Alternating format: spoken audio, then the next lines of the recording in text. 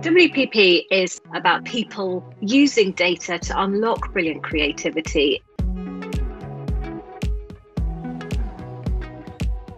Many of you might know WPP as a holding company of some of the world's largest agency brands like Ogilvy, AKQA, VMLY&R, Wunderman Thompson, and our media agencies.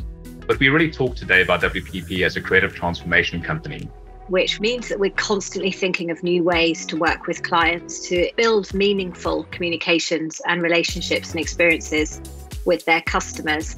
We are helping marketeers bring creativity into marketing and powering by data and intelligence. Bringing in our tools and data sets into their world to enable and empower them as much as possible. Technology has always been a key part of how we've delivered marketing. What's different today, the ability to connect data across different domains, the ability to automate processes, and the ability to apply AI to the work that we do in virtually every function is something that's, that's radically new. Our focus is really to make AI a tool for the marketeer. So we're very, very focused on not talking too much about the brilliance of the AI, but rather the uplift that it's going to create the role of AI is not to replace people, it is actually to improve uh, the quality of the product that we create for clients and then to free people up uh, to be you know more creative.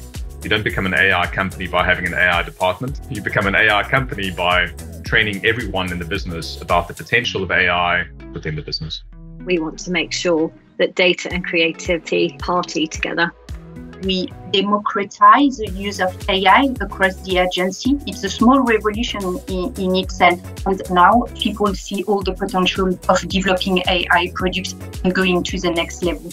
Technology today underpins virtually every part of what we do at WPP. From how we understand consumers and markets, how we make the creative work that we sell to our clients, how we plan and invest and optimize media investment, all the way through to understanding whether the work that we did for clients actually worked and led to business growth.